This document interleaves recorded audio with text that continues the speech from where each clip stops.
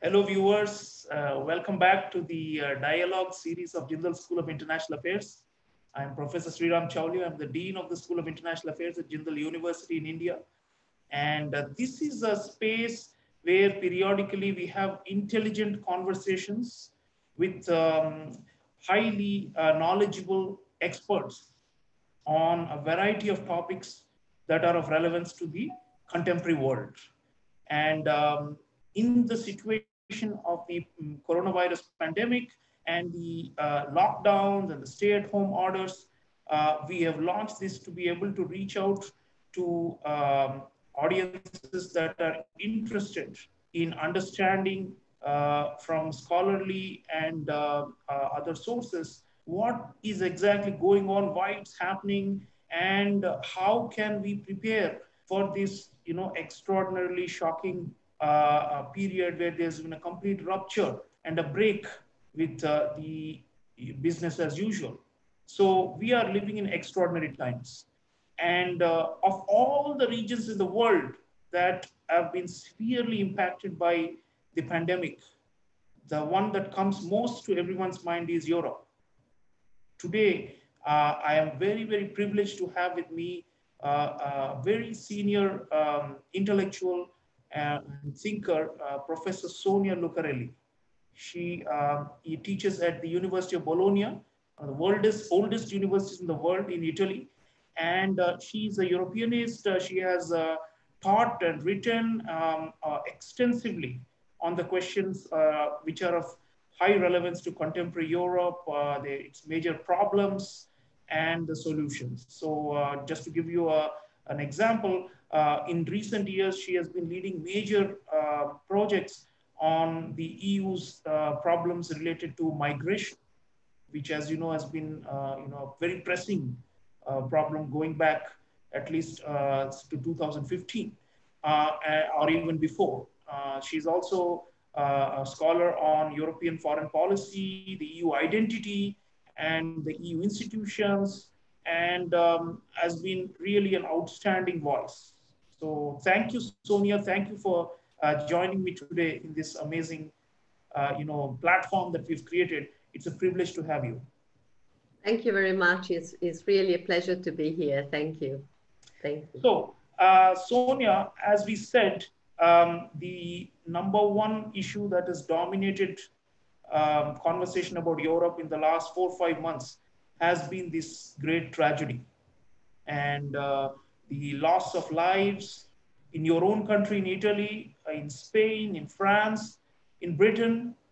And uh, people often forget in smaller countries, if you do a per capita analysis of the deaths from coronavirus, uh, even smaller ones um, like the Netherlands, Sweden, um, uh, uh, and so on, have also been affected. And uh, Belgium, they've suffered quite a lot. And uh, this, in a way, the, the, the, pandemic has kind of ravaged some of these countries. Uh, perhaps Germany is the only big European country that uh, came out with fewer fatalities. But overall, it's been quite a devastating uh, loss. So uh, first of all, I'm so happy, Sonia, that you know you are fine and healthy because you know people have been very worried about Italy, and you know Italy is the world's favorite. Everybody loves Italy, but um, we have been watching sadly uh, the losses we, uh, of the last uh, four five months. So so first thing, Sonia, for the audience, you know uh, the most important question on contemporary question on people's minds is how come Europe was so unprepared, uh, except Germany maybe, and to some extent, I think the Eastern European countries survived okay. The Central and Eastern European countries like Hungary and Poland were okay. But otherwise, the biggest countries, including France, Italy, Spain, Britain, um, all of them seem to be uh, uh, to have made major mistakes and could not really fathom the depth of this crisis that was coming. So, and I know there is probably an accounting going on right now individually in each country. People are asking questions, what went wrong? And where did our governments make a mistake? Where did the society uh, make a mistake? So this is actually a very grim uh, moment for Europe uh, as it is just picking up the pieces from the from the devastation. So, so Sonia, what do you think, in your view, can we generalize um, for these affected countries and say, you know, these were the factors and where did they go wrong, you know, and what can they learn from this? Because people are saying there could be a second wave, there could be a third wave of coronavirus. Uh, to what extent do you think is Europe uh, going to be able to manage this going forward? Where did it go wrong first? So, um, so first of all, thank you very much for having me here. It's really a pleasure to be with you uh, and to see you and to have the opportunity to discuss these important issues with you. Um, uh, first of all, the first thing we should notice is that Europe has not experienced uh, to the same uh, extent that uh, several Asian countries have uh, significant epidemics, I mean, to, uh, that have affected a large number of countries and a large number of people. So SARS-1, for instance, did not affect Europe to the same extent.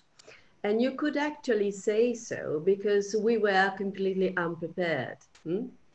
So uh, there have been uh, um, some lessons learned from previous epidemics uh, that have led the European Union, for instance, uh, after the last one, the SARS one, to set a center for the prevention of this type uh, of epidemics.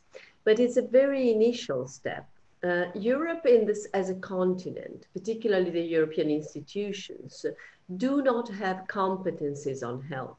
Health is a competence of the member states.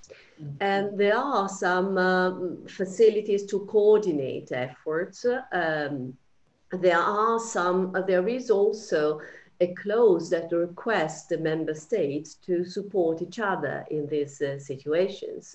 But we have different uh, health systems, not only within the European countries, we also have uh, regionalized health in several countries. It's the case of Italy, where the regions have uh, uh, important competencies in health.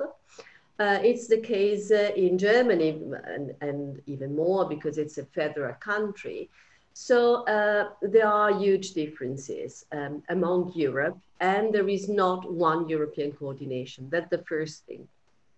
The second thing uh, I already said, it's uh, the um, lack of a, of a recent uh, uh precedent uh, uh, that affected us so directly. Mm, so for instance, there was a shortage of basic things like masks. Mm? We do not produce them anymore we did not need them so much in the past, apart from, uh, I mean, people working in specific missions. And so we were really lucky in these things.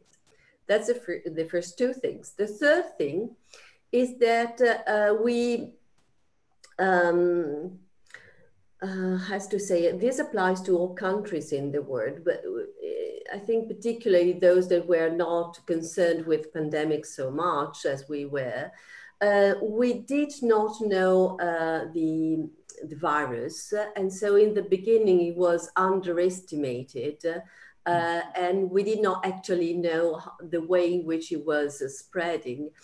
And now this virus, as we all know now, is very contagious. So if you even fail for one day or two days or one week to stop spread, then it, it risks becoming very uh, diffuse. And we have uh, uh, in Italy, uh, everything or a lot of this has been explained by the role of single individuals, uh, the super spreaders of the virus.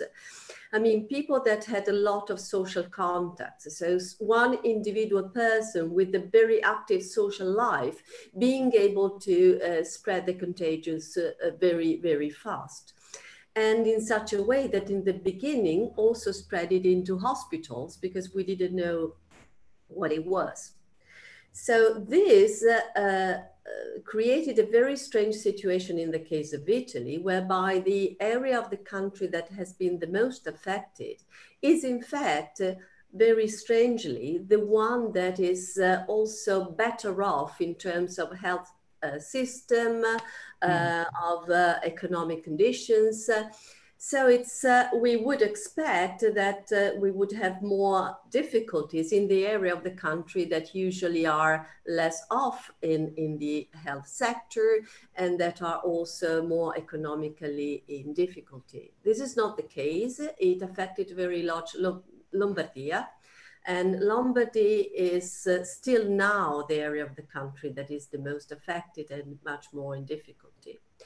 Now, the rest of Europe, so I, I can't say actually, uh, contrary to several of my um, uh, fellow citizens, uh, I can't say that there have been so huge responsibilities into the health reaction that Italy had.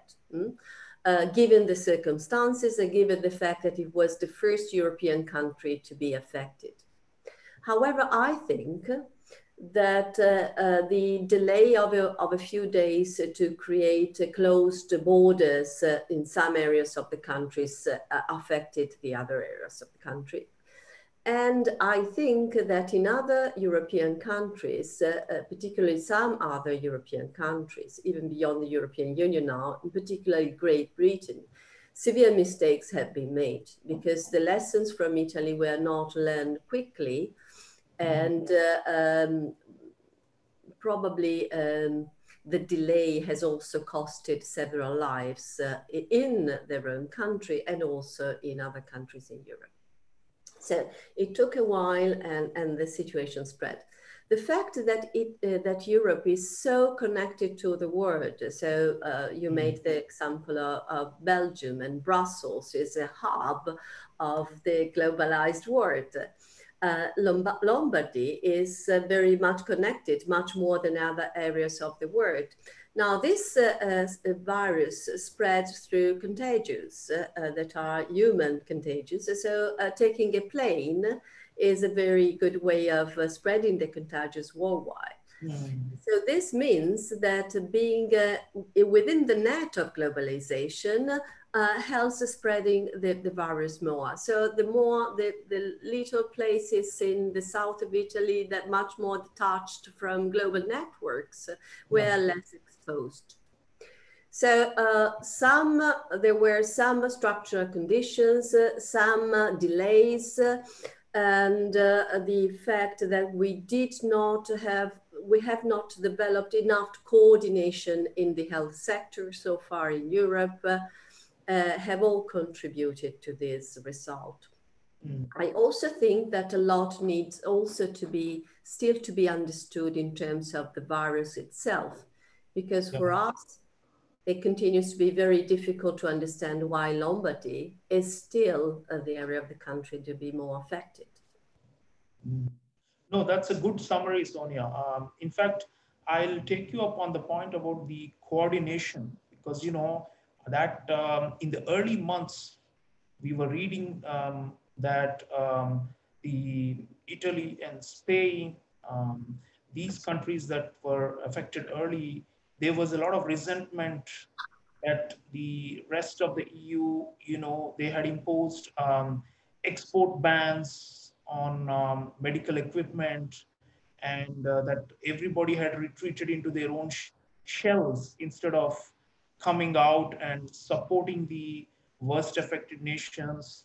And um, there was this uh, period when, um, you know, the entire, the Schengen, the free movement area was also suddenly uh, halted, but in a way that did not necessarily benefit the southern European countries that were the worst affected.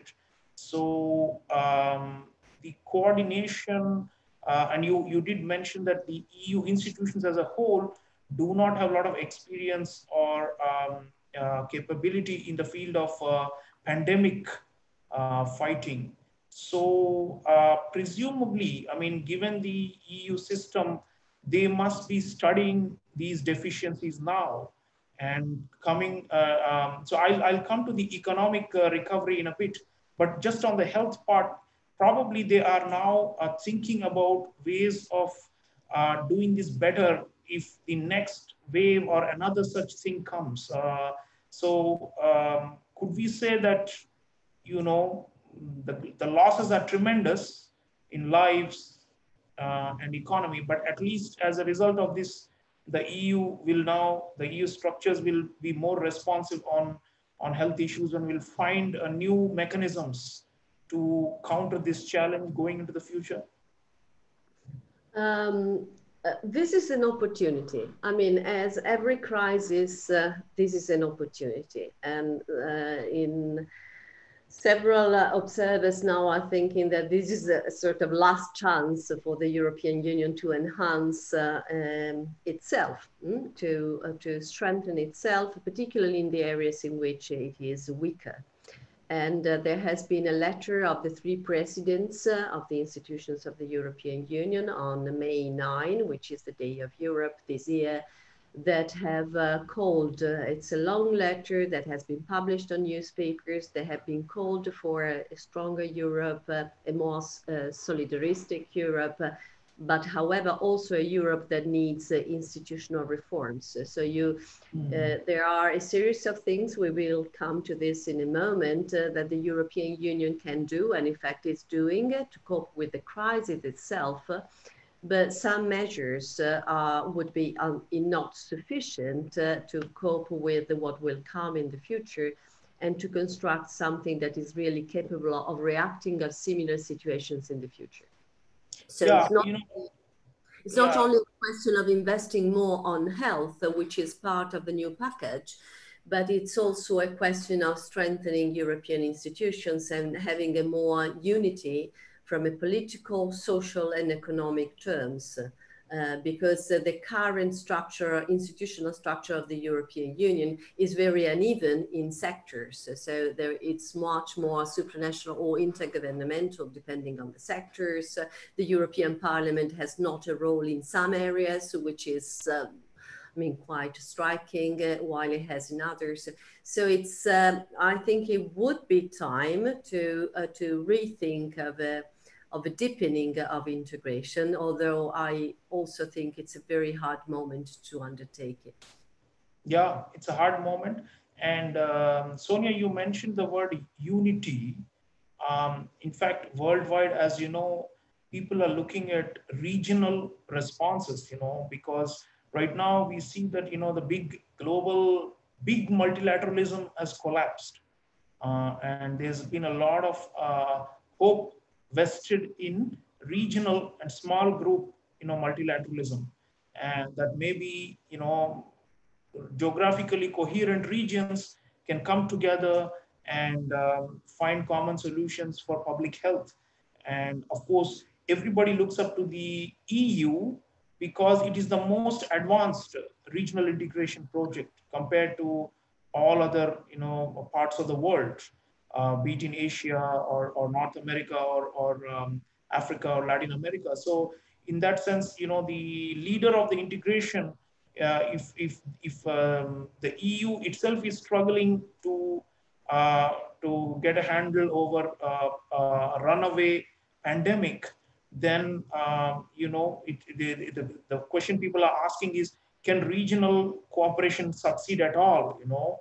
Um, uh, if, if the EU is not able to succeed, then nobody can succeed because you have already uh, at least two decades ahead of most of the other regions of the world in integration. So single market, you know, common currency, uh, Schengen, you know, all these uh, uh, mobility. So you, in that sense, um, I think really um, the EU and the European experiment uh, integration will be um, the one to look out for in terms of long-term pandemic preparedness. So while um, the institutions failed this time, while individual countries failed this time, I think it is it still remains by far the uh, the leader in the whole concept of regionalism. So we hope there will be more of that. And coming to that, uh, Sonia, um, recently um, the German Chancellor and the French President have announced a mega 750 billion euro European Recovery Fund. Now, this has been hailed by some uh, commentators and politicians as a Hamiltonian moment for Europe. Uh, you know, using Alexander Hamilton's example from the US, you know, for the first time, the debt burden of the states of the US was federalized um, way back, you know, more than 200 years ago. But um, now finally, um, people are saying um, what the EU and the Europeans could not uh, do during the 2008 um, economic crisis, the 2010, the debt crisis of one decade ago. Finally, they have done it now. And uh, they are now uh, taking on common debt. Uh, in those days, it was a taboo, right? I mean, um, even uh, Angela Merkel herself used to oppose it at that time.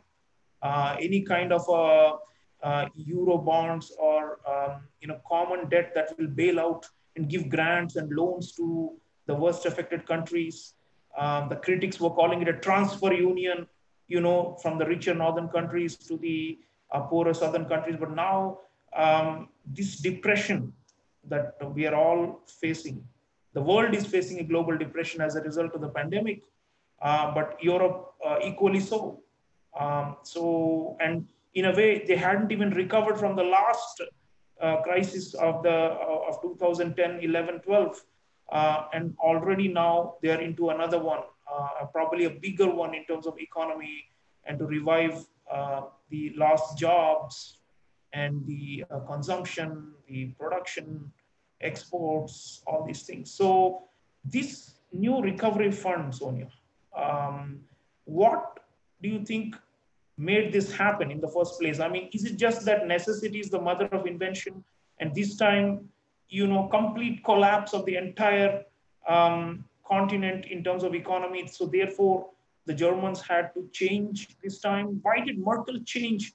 Uh, is this the same Angela Merkel, the leader of the EU, the de facto leader of the EU, the same woman today as the one who was refusing to, you know, be generous to Italy or Spain or Greece in the past, in the earlier crisis, but this time she's saying, nothing doing, we are going to basically bail them out, you know, come what may, we will, if, if needed, taxpayers will, you know, uh, will bear the brunt for it in the richer countries, but all the hard hit countries had to be bailed out. So how did this revolution happen? I mean, and uh, probably you're happy with this development because, you know, as a believer in European integration, it seems like it is a, quite a bold step going forward. Yes, definitely. Uh, before coming directly to this, but let me remind that, as you were mentioning, this is uh, a crisis on built upon uh, other crises that have not been completely overcome. And particularly the 2008 crisis and uh, that continued into, into several other forms of crisis themselves, all linked to the economic uh, realm uh, from 2008 uh, onwards, more or less in Europe. That has been a, a huge hit for the European Union. It has put uh, uh, particularly the Eurozone under great pressure. It has led to some um, um, revisions, reforms inside, um, but everybody in Europe uh, uh, continues to remember the slow path of response of the European Union, uh, the lack of solidarity in the beginning with respect to Greece. Uh, and now when we talk about uh, uh, the possibility to uh, use disability stability pact mechanism, uh, the Italians say, well, but what happens if then the Europeans come here as they did with Greece and impose uh, certain reforms and measures? So uh, uh, there is a legacy of that crisis, and the legacy is uh, uh, that uh, the weaker countries, the countries that are more in difficulty, then can be seen their own, uh, according to the sovereignist um, sovereignty, squeezed, reduced because of the control from the outside. That's a narrative that goes on a, a lot into the public debate.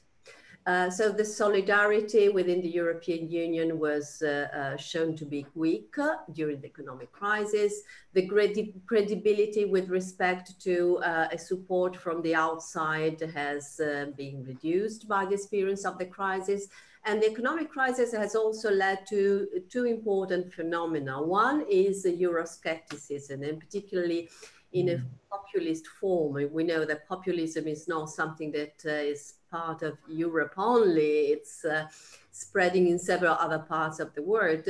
But in Europe, uh, it's uh, joined with uh, Euroscepticism. And um, um, Brexit is um, um, largely explicable uh, also on the basis of the uh, heaviness of the economic crisis, on the basis of the effects of this economic crisis on already existent inequalities and the inability of the European countries and the European Union to cope with the inequalities created by global economy that has also brought very good uh, results, but it also has brought uh, within countries inequality. So these things have weakened the European uh, project. They have uh, enhanced uh, uh, Europe skepticism where in countries where there was virtually known. Italy is one of those. Italy was one of the largest supporters in terms of public opinion of Europe and European integration.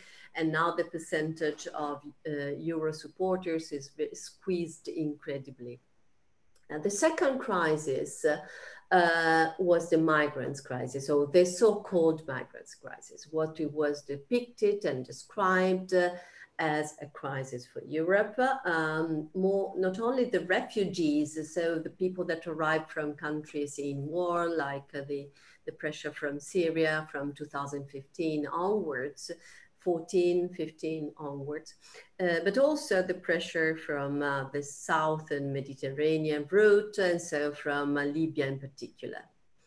Uh, now, 2015 and 2016 have been really, really years in which in European countries, particularly in the countries of the periphery, uh, Italy, Greece, but also Hungary, the main uh, argument, the main topic of debate in newspapers was migration. Hmm?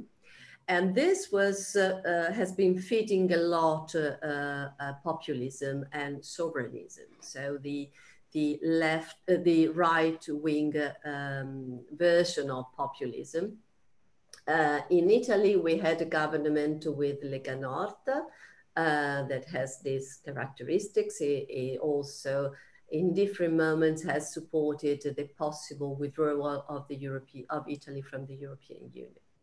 So this was a situation that we already experienced uh, in mm. very recent years. Hmm?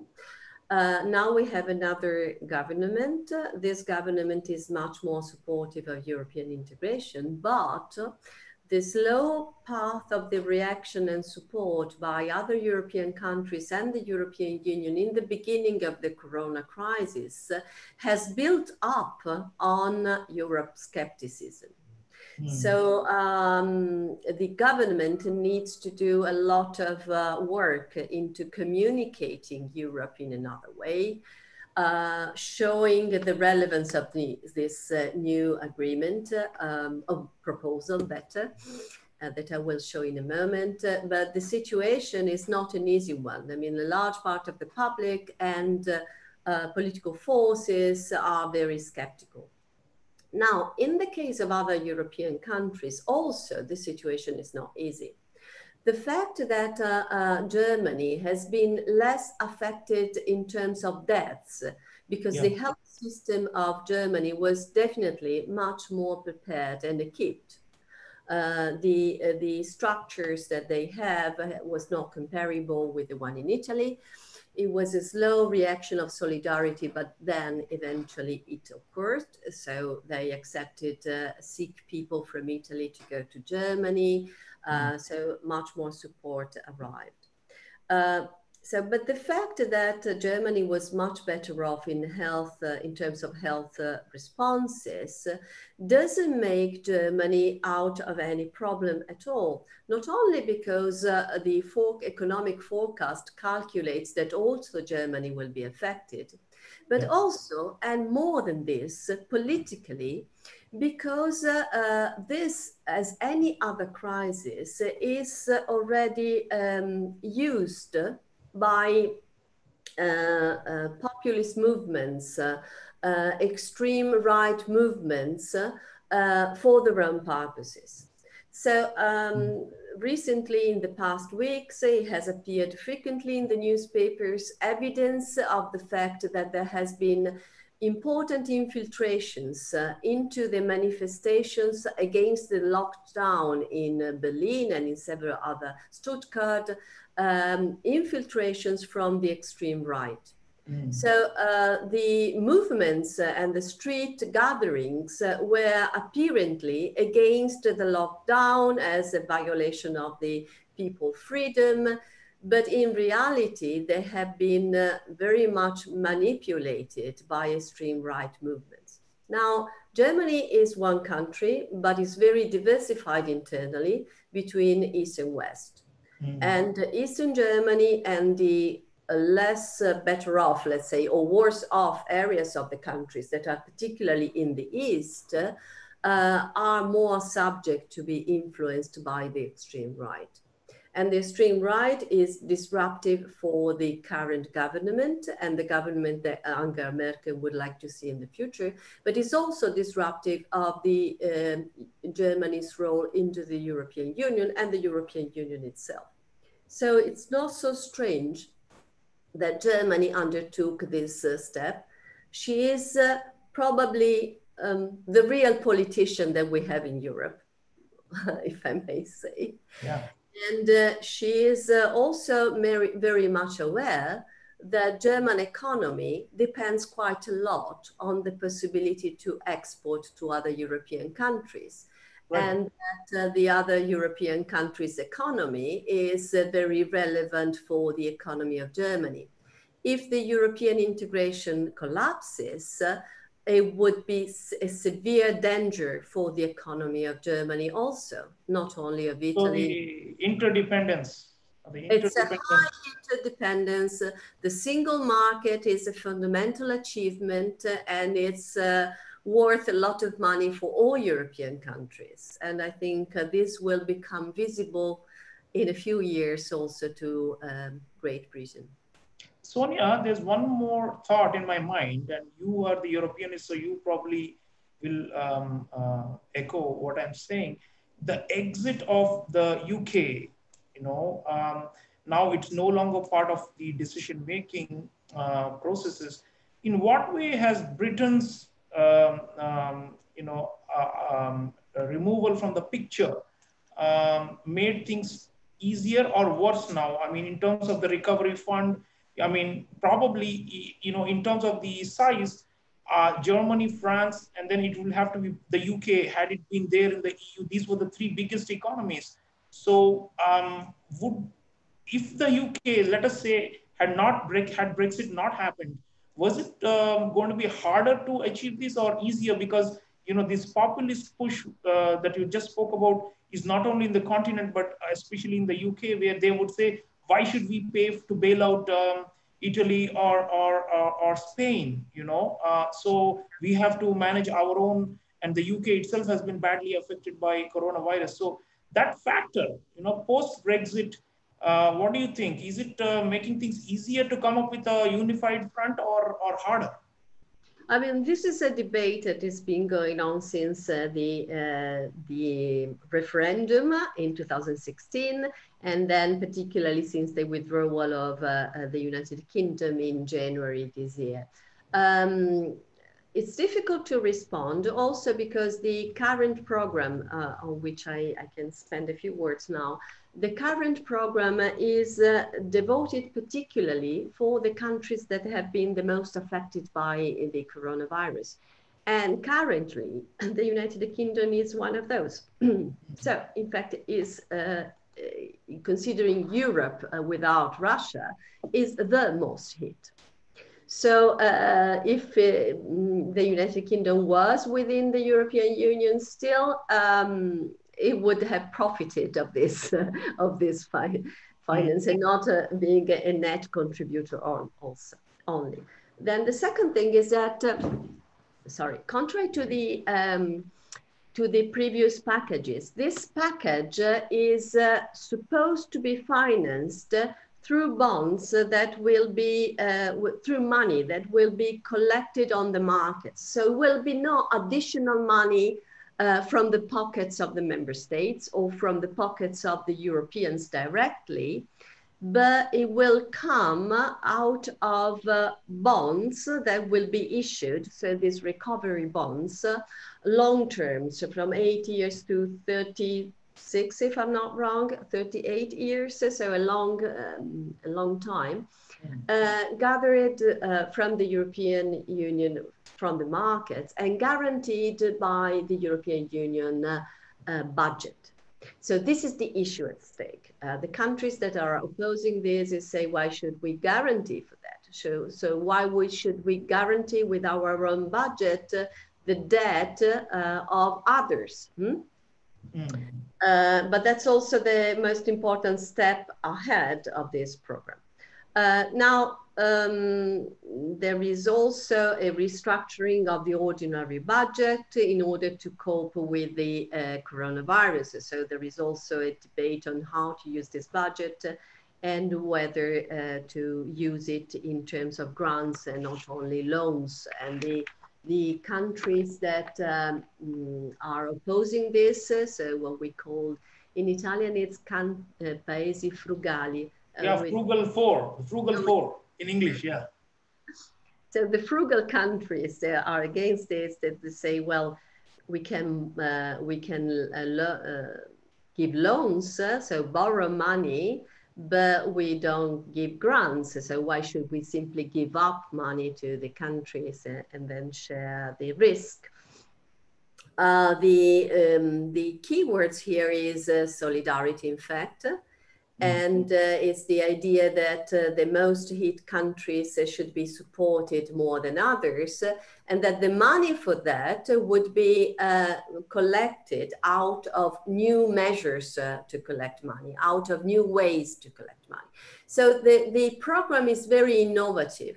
It, to be mm-hmm. honest, already in the first weeks of the crisis, there some very innovative steps were taken. Uh, for instance, there was uh, uh, by in, within three weeks or so from the beginning of the crisis, there was a suspension of the Stability Pact, which was something that was unthinkable before. And uh, the European Central Bank started to buy bonds uh, on national markets to uh, help the countries in greater difficulties very fastly. I mean, after a first moment uh, in which it seemed that he would not, and this created a lot of criticism, but mm. then he started to buy bonds. Then, then another package was adopted in April worth uh, 400, uh, 540,000 billion euros um, with a program for temporary layoffs of the European Union. The program is called SURE um, and then a very important step also that seemed to be unthinkable, the European stability mechanism uh, that was already in place has been revised in order to be given without conditions in the case of expenses direct or indirect to cope with the coronavirus emergency. So this is really a big package. It was already a very steep step, mm, important step ahead. And these measures are to be implemented now. So uh, time is uh, ready for this. Uh, also, the loans of the investment bank to enterprises uh, is uh, worth 200, um, uh, 250 um, billion euros is, um, is in place. Um, what has been discussed uh, uh, and agreed upon by Merkel and uh, Macron, and then endorsed into the proposal that the European Commission issued on 27 May, so a very recent one, is this recovery plan for Europe um, that has been uh, um, widened. The recovery and resilience plan altogether is worth 1,850 billion euros. And of this, uh, 1,100 billion is in the revised budget. But the most innovative thing is the 550 billion Next Generation Europe uh, uh, program that you mentioned. Now, uh, this Next Generation program is worth 500 billion grants, so given to the countries, and 250 um, loans. loans.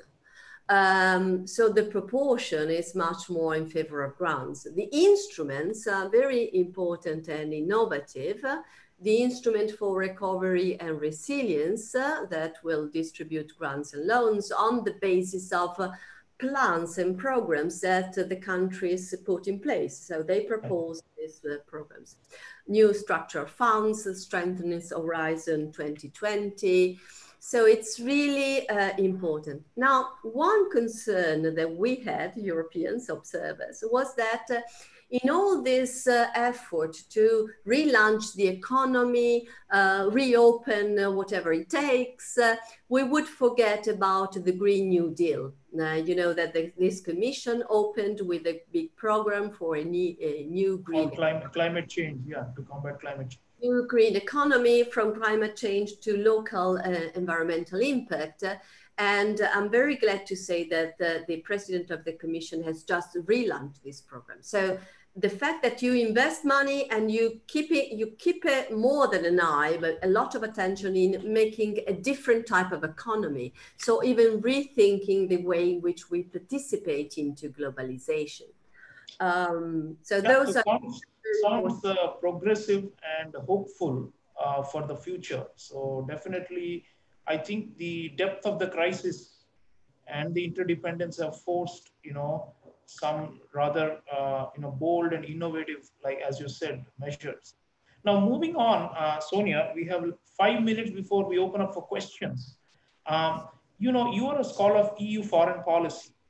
Now the EU as an actor, uh, it's got a new, uh, you know, executive um, offices, new president, um, new um, high representative for foreign affairs, and all these things uh, recently now, the question really going forward now is uh, the EU's role uh, as a player. You know, Macron especially has been pushing for uh, Europe as independent from the US. You know, that's an old French, uh, you know, uh, uh, since the Charles de Gaulle, they've been talking about this.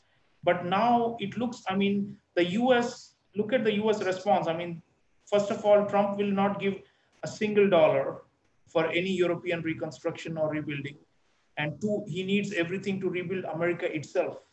So there is no you know um, those who know your history um, in the audience uh, people you remember there was a marshall plan you know after world war ii united states coming in and you know pumping money to revive western europe to counter communism and build the prosperity that we see today. The basis of it was with the us support now all that is gone. I mean, that's just totally out of the picture, and uh, Trump uh, has withdrawn from the transatlantic cooperation and all those things. So, uh, and on the other hand, the other big player in the world, uh, Sonia, is China, and the virus originated in China, and many people are angry about it around the world.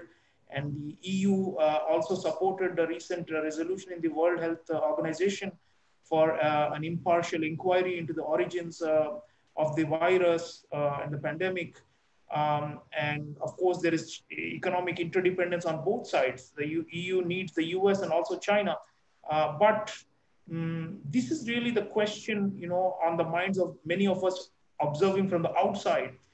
Is this the crisis where, as Merkel has been saying, as Macron has been for a long time, that you know we Europeans we have to be self-reliant cannot depend or even count on any big outside player to uh, uh, enable us. So, is this that kind of a moment you think the crisis is so deep now, this depression, that and it, and there are no precedents to this because in the past there was always this transatlantic, you know, solidarity, and now um, even Britain is out of the picture for the rest of the EU. So, is this the kind of moment where if you take the bigger picture of the world, the EU is on its own now, you know, and um, is that a kind of a cathartic moment where you suddenly realize that um, we have to rebuild on our own now after Corona? And uh, this is the and the recovery fund you mentioned. All these seem to be going in the direction that um, the the era when the EU would play a junior partner or be attached to some other bigger power center is over now. So how do you see that process going forward? I mean, uh, there are many dimensions to this, but Europe as one um, power center in the world uh, in foreign affairs, is that coming, is that going to happen now as a result of this extraordinary crisis? Um, it is um, definitely difficult to tell now because there are too uh, many question marks uh, and it's uh, difficult in itself. So let me start with the question marks. First of all, um, the one made by the Commission is a proposal. It needs to be approved by with the unanimity of the member states. This implies that some compromises will have to be made and it will depend on uh, how many compromises, which compromises, uh, and uh, only on the basis of this, we will see what comes at the end. That's the first thing. The second thing is that this uh, imposes time and uh, we don't have much time. The economy is uh, losing quite a lot. The uh, economic forecast for Italy is dramatic. Um, uh, we have we we have different figures that go the most extreme minus 13% uh, of GDP the most likely minus 10% of GDP. The entire European um, economy is losing uh, roughly 7%.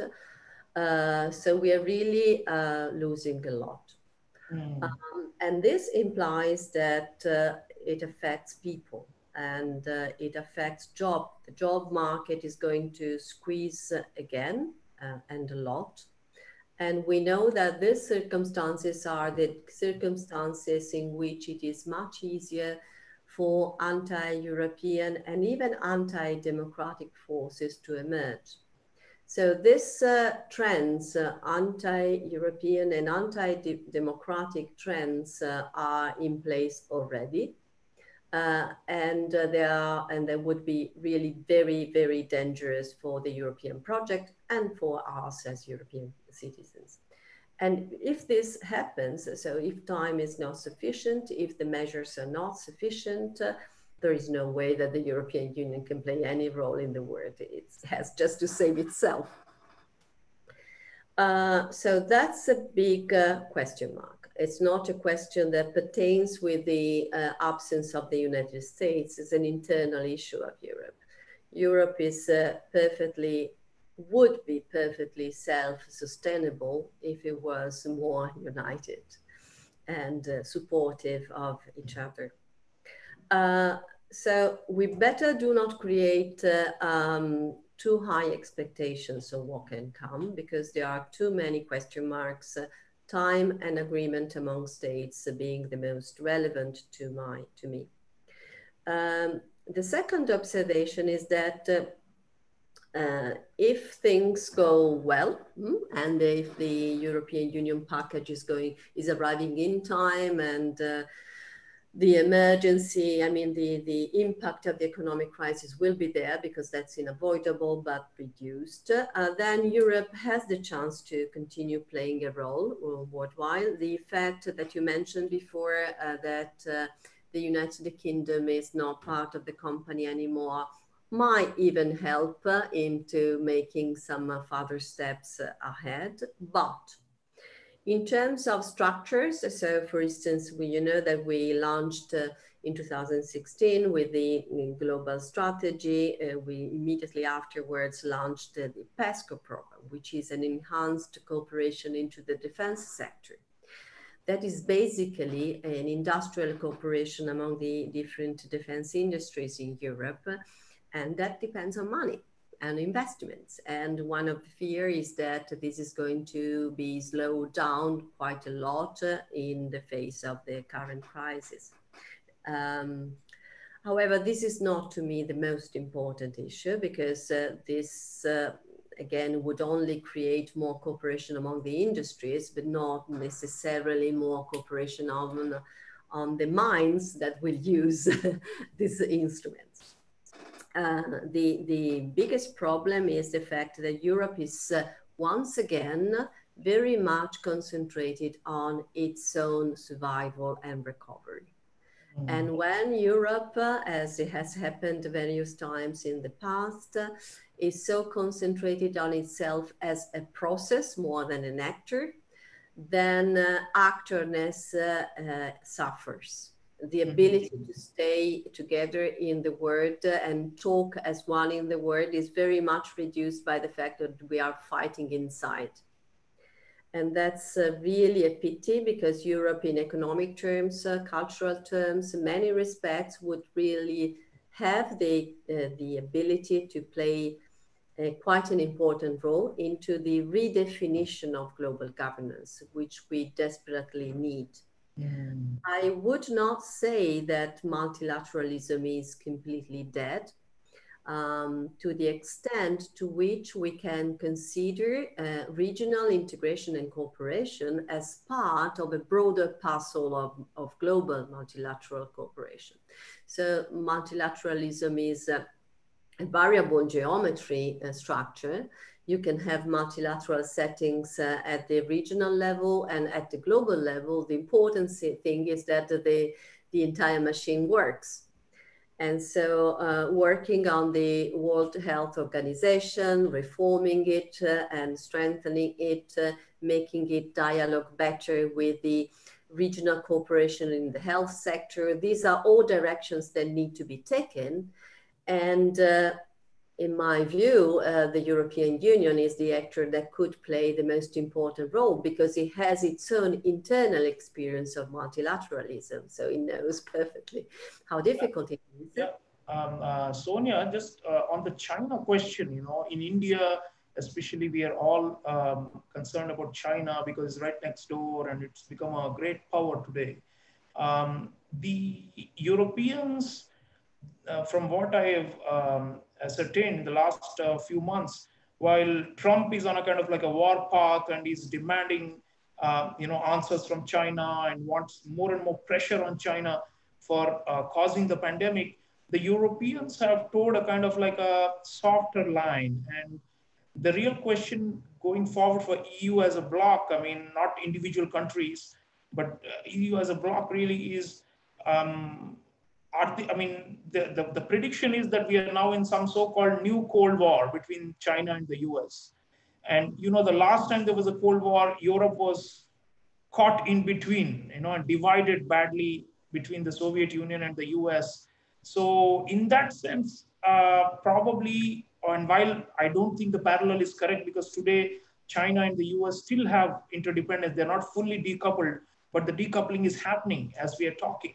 So um, do you foresee trouble for the EU in this role? It's not only the internal weaknesses you mentioned, but the, even the global um, configuration seems to be such that um, there will be some uh, EU countries, particularly these Eastern, uh, Central and Eastern European ones, that may gravitate uh, closer to China, it seems, uh, because of the aid and the other uh, assistance that they're giving and while the Western ones will try to forge a separate, you know, uh, value-based, you know, uh, identity, foreign policy identity of democracy and human rights and constitutionalism.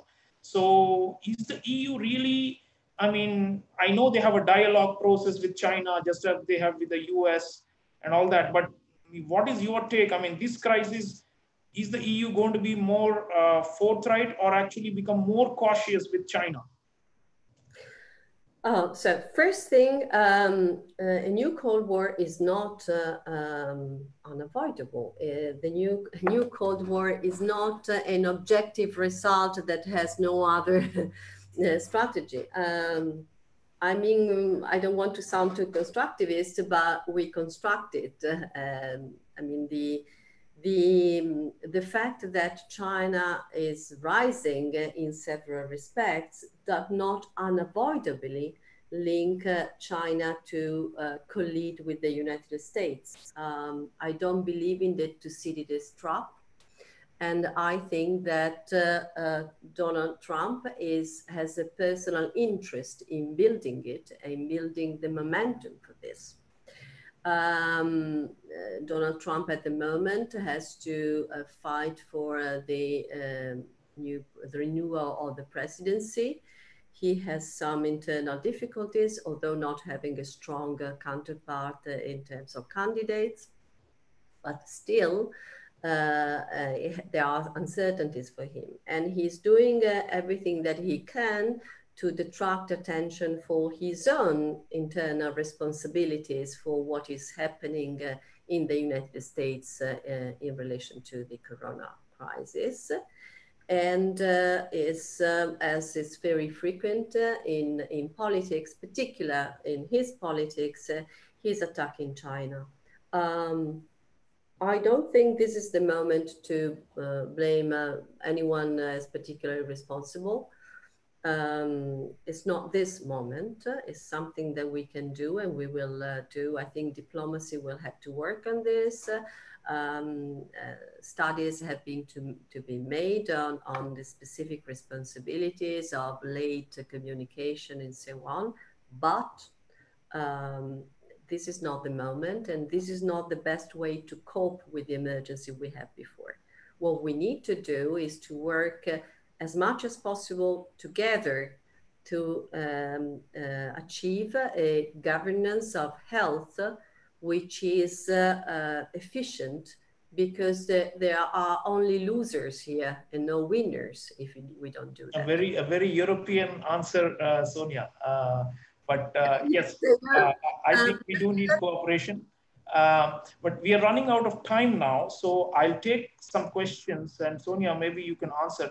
There is a question from a person in the audience called Abhijit, and he's, he says, um, how do you see Yanis Varoufakis, you know, the Greek, the former Greek uh, finance minister, the leftist, his um, uh, suggestion that Europe should go for universal basic income to revive the economy of all members and that it should move beyond capitalism and that this is the moment because the capitalist model failed, you know, with, with Corona and the have-nots, the people were left behind, the elderly died, the poor died, and clearly, you know, who lives and who dies, it was a very stark choice, this crisis. So radical, the left is saying that, you know, capitalism itself has failed. Uh, is the European, is can we think of an alternative? That's the question, you know, or is it going to carry on as usual with some minor adjustments? I think that what we learned from this crisis is uh, that uh, um, the countries that have coped with this the best are those uh, in which we have a strong welfare state, strong for what has remained of the welfare state. So, for instance, in the case of Italy, I'm very proud to say that despite the tragedy of the many people uh, that have died and have been affected, they have not hit more certain people rather than others, classes, race, uh, or whatever. So, there are in fact people regardless of race, regardless of class, regardless of origin, have been all cured in the same way and they have been affected in the same way. And this is only because this is a country in which there is uh, a sufficient attention to uh, equality, despite the fact that there are inequalities. Mm-hmm. But most of all, there is a welfare state system that uh, is uh, um, taking care of everybody, of any, not only citizens, but even tourists. The first uh, sick people here were two Chinese that were visiting Rome. And we had reports on their health every day on TV. Hmm? Mm. So, uh, so you're saying the social democracy, social democratic form of capitalism can in, handle it. Uh, in the United Kingdom, which is the country that traditionally has the Gini factor, which is the highest of Europe and, and one very high for Western countries. Yeah. The Gini factor is the inequality uh, indicator. Uh, this is not happening uh, people, uh, the Guardian reports uh, rather regularly how um, people in different socio-economic conditions are affected in different ways. In the United States, the Black community is much more affected and dies much more of coronavirus yeah. rather than the whites. And this is not something that I like. And it, the, to blame is not capitalism. We don't have an alternative to capitalism. To blame is the way in which we do it. Huh? Mm. Capitalism you're is talking the, about the two variants, the laissez-faire model of the US and the UK versus the continental, the social democratic. So great. Now we are almost out of time, but uh, Sonia, a last question. If you're an average person, uh, you know, recovering in this Great Depression in Europe, in different corners, are you going to think much about Brussels and the EU at all, or is your focus, uh, is your reference point now going to be almost entirely on me, my government, what is my regional or national government doing for me?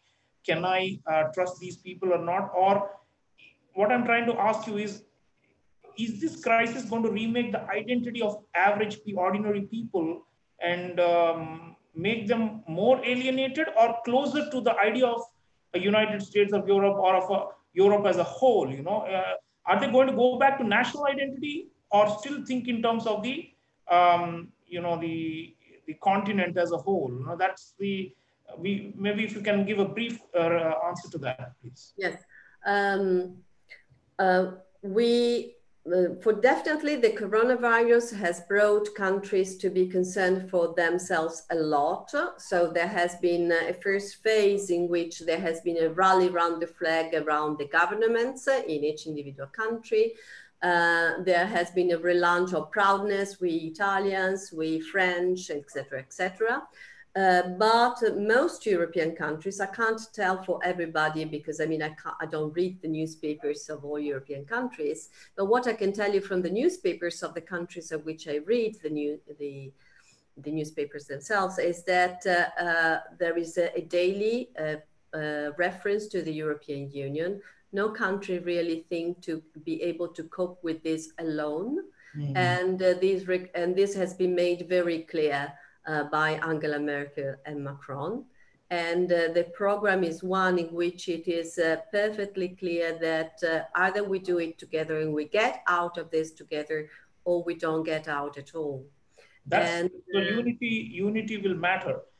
we are almost out of time, Sonia. But last point. Um, is the whole question of the uh, you know the EU's future. You know, so there was a time people were saying uh, it's in it's going to balkanize. There are going to be more and more exits. But I feel, and from this discussion, that I think the you, going forward, like EU said, alone, none of these countries can really cope with this depression. So it seems like from a integration point of view, despite all the pain and the suffering and the losses of coronavirus, that we can look up to the future. So, are you optimistic? I'm moderately optimistic. This is one of those turning points. Uh, and uh, as any turning point, you can go one direction or another. Um, I have written a book last summer that was very pessimist, which I'm usually not a person like uh, was very pessimistic because uh, the presence of uh, populism, uh, the um, lim limited uh, democracy in some countries, the um, I mean, it's uh, the hate speeches that are rising, and we're all very bad indicators in terms of state of society and politics. now, this is really a turning point, and the result depends on luck, what the, the pandemics will be in autumn, and on political responses. It will also depend on the ability of the Europeans to get informed on what Europe and the European Union mean and has done uh, beyond uh, the uh, discourse of populism that has monopolized the public debate in several European countries in the past years. Right. So maybe this is a turning point, uh, just as it is a turning point for the world, uh, surely for Europe, which is a crucible for integration let's hope for the best. Uh, thank you, Professor Sonia Lucarelli. It's been such a you know intellectually stimulating conversation. Um, I'm sure it will be watched uh, and discussed widely. Thank you so much for your time. Thank you to the audience, and uh, we are going to continue the dialogue series. But keep thinking about the big problems and keep an eye on Europe because, as I said, it was the leader in terms of um, unification uh, of a region, of a whole region, and uh, how it responds in a unified fashion remains to be is going to be watched widely world over. Thank you, Sonia. Thank you so much. Thank, Thank you very much. It was really a pleasure. Thank you. Goodbye. Thank you.